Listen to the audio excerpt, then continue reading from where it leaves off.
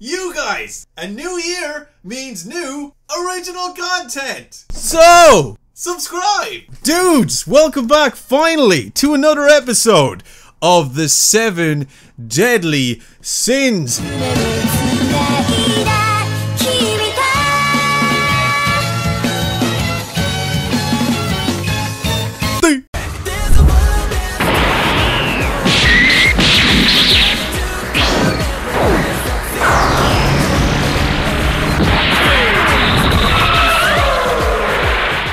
My name is DeeBee Geek, and today you guys are going to be witnessing my reaction to the epic introduction to my all-time favorite character of the Seven Deadly Sins, the Sin of Pride himself, Escanor.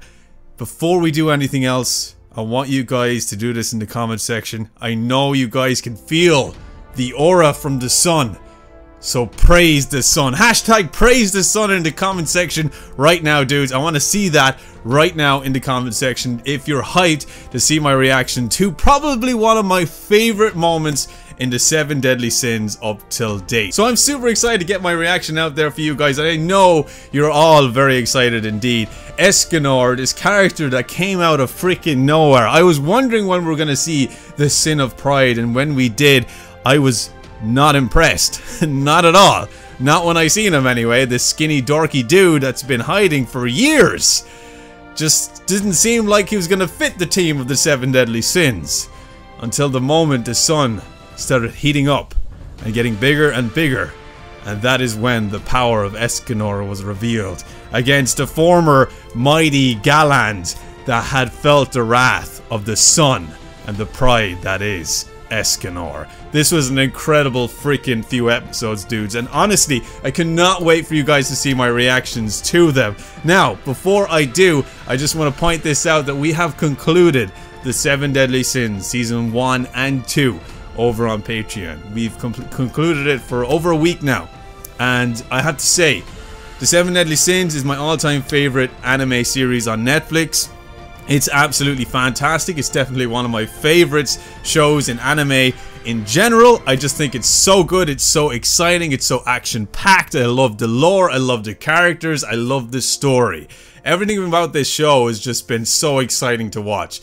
Like, it's just one of those anime where you just sit down and you know you're just gonna enjoy something. You know you're going to just be so hyped and so excited watching it. No matter what episodes are thrown at you, usually they're all extremely well done and just exciting. Absolutely high octane, adrenaline rush, adrenaline pumping action. I loved it. Absolutely loved it. And tomorrow, Yes, dudes, as you know, there is a new Seven Deadly Sins movie that has released on Netflix, and we're going to be checking it out over on Patreon as part of the movie reaction tier. Yes, dudes, The Prisoners of the Sky has released on Netflix, and I've been extremely excited to watch it because after finishing season 2, I wanted my 7 Deadly Sins fix, but I couldn't get it because there's no season 3. But then, lo and behold, the new movie has now released on Netflix. Now, I am not aware whether or not this is canon or not, whether it actually fits in with the continuity of the Seven Deadly Sins, or is it its own story altogether.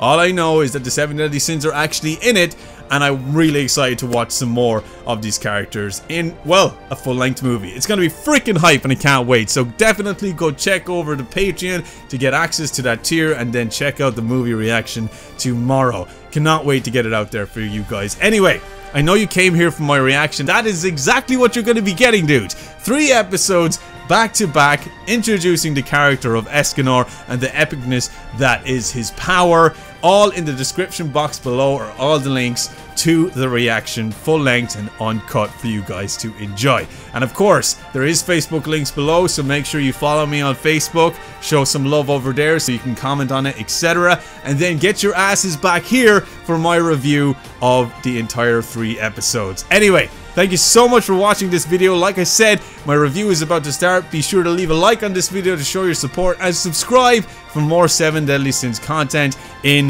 the future. Anyway, thank you so much for watching, and here is my review. oh, okay, we gotta talk about this right now, dudes. We gotta talk about this. Alright, alright, okay, okay, okay, okay, okay. So, first, first off, first off, right? before I say anything. Praise the sun!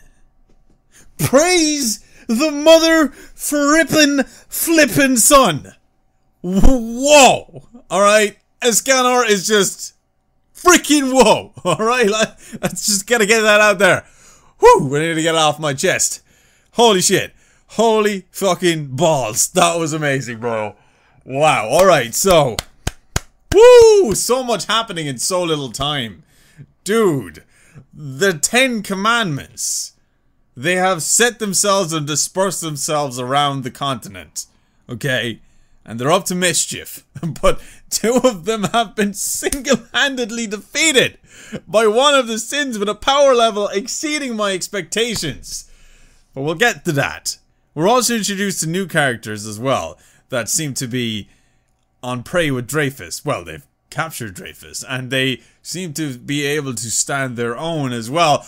I want to know more about them, but they only gave us a hint of them. That's all they gave us. Meliodas was on the search to Escanor. Mm, Well, Meliodas and the rest were on their search for Escanor. And they found him. Obviously, with this amount of power being thrown around, they're going to sense that. And I like to just point out that Meliodas does seem to have a sixth sense when it comes to his comrades or massive power levels, which I think a lot of them do kind of, but Meliodas seems to have that much stronger. Like he has that connection, especially with Ban. Whenever Ban is in trouble, he can sense that, you know. So I think that's interesting. I wonder what gives him that ability. But that aside, the simple fact that they now know where Escanor is, which means they're going to make their way over to him, but they're going to get more than Escanor. They're going to get Jericho, they're going to get Elaine, and they're going to get Ban as well. So you're getting a total package here. So the seven deadly sins are going to be fully reunited. Okay, we have the seven deadly sins finally upon us. Praise the sun. Now I know. Now I know why you guys keep saying that shit to me. Praise the mother fucking sun. Escanor is here and he's more amazing than I could ever imagine. But there's a downside. Escanor's power is only truly great when he is being bestowed upon the greatness that is the sun. And I think the stronger the heat, the stronger the rays of the sun, the more incredible Escanor's powers are. Which can be an advantage or a disadvantage, whatever way you want to look at it. If it comes to taking on the Ten Commandments, they gotta do this shit on the biggest, brightest, most glorious sunny day. Because if they do, then they'll win. because Escanor is there. But if the weather is shit, then Escanor is weak and can be killed instantly. He was knocked out unconscious for hours upon hours by Galand because he was in his weak state. But then as soon as the sun came out, kaboom, there he was, my steroid filled beast. Like that was amazing. Really, really great stuff. And the Escanor's character, love him. Absolutely love him. Um, it's like the perfected version of Jekyll and Hyde, I want to say. There's no real split personality there, but there's a huge difference in power. And that is awesome. And appearance as well. And it was just incredible seeing this. Now, also, okay, I know I'm just jumbling up everything here. I'm not really talking about specifics of the episodes. I'm just talking about certain scenes or certain characters that stood out to me the most. Now, I did say this originally during my reaction, and I did pause it, that Jericho has now officially become the best girl. Diane was, and I still love her. You know, Diane is still adorable. She's cute. She's lovable. But for a woman, for me personally, Jericho is my girl. Okay? She shows loyalty. She shows strength. She shows compassion. She shows love. She shows care. And she's got power. She's got everything that I love in a woman. And that is why Jericho is now officially best girl. So when it comes to getting any Seven Deadly Sins figurines, posters, etc., you know I gotta get my girl Jericho. So if you guys can hook me up with links to some stuff, I'm definitely gonna be making some purchases. That's all I'm saying. Now, that being said, Elaine being brought back to life is not something I was expecting. Okay. Of everything that's happened in these few episodes, I was not expecting that. I do think that the whole taking souls and corrupted souls and all that stuff, that was kind of thrown in there. It was a little out of the ordinary. It was a little rushed, in my opinion. But it did bring back Elaine, and I think that's the whole purpose of that. They just wanted some sort of reasoning behind Elaine being brought back to life, which you know gave a lot of an emotional factor to this episode that we watched. We, you know, with Ban and his relationship with Elaine, and then we got to see Jericho break out in tears and express her love, which is just heartbreaking because Ban is just just in love with a dead girl. She's a dead girl, man. You got this perfection here beside you that's willing to stay with you forever, and you're in love with a dead girl. She's a dead girl. A flat chested dead girl, okay? You got Jericho for Christ's sake. And I think that was kind of interesting that Elaine was brought back. You know, those emotional factors were exploited from the characters, which made this more, you know, dramatic to watch. And I like that. I think it's cool. And now that the king has returned, he can now, you know, speak with Elaine and, you know, have their little emotional moment or whatever before she, you know, heads back to the land of the dead. Um, I don't know if this maybe is just a sneak sneak peek of what's to come if Elaine is brought back to life, which I don't know how Ban's gonna do that. And honestly, I don't want him to do that because I think he should be with Jericho because she's best girl. So I don't know. I'm pretty interested. That's all I'm saying. But that is all I gotta say about these episodes. Like I said, I know I just jumbled all about the stuff that's happened in the episodes. I just wanted to talk about the things that really stood out to me the most. Um, Escanor being one, I think he's the brightest, shining, most amazing thing to happen in these few episodes, which I was expecting because you guys just kept hyping it up.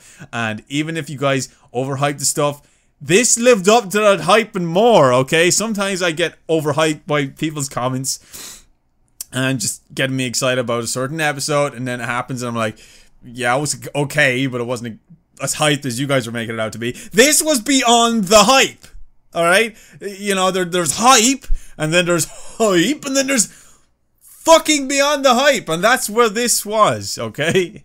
It was. Now I, I get it. I need to take myself down a notch. I'm being too loud. Um, yeah, so Escanor. Praise the sun. oh, praise the glorious sun. Well, I'm never going to look at the sun ever again the same way. I, I mean, I'm going to go out on a sunny day and be like, that dude is kicking somebody's ass out there right now. Praise the sun.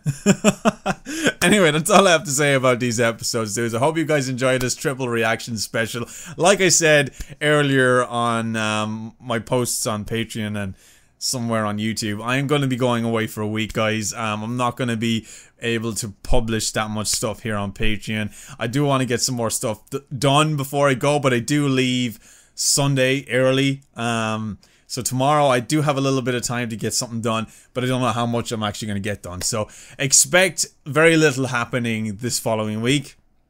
But then going forward, there's only a few weeks left, and then I'm finished with work altogether. And this is this is it. This is the real deal. I'm going to be changing everything.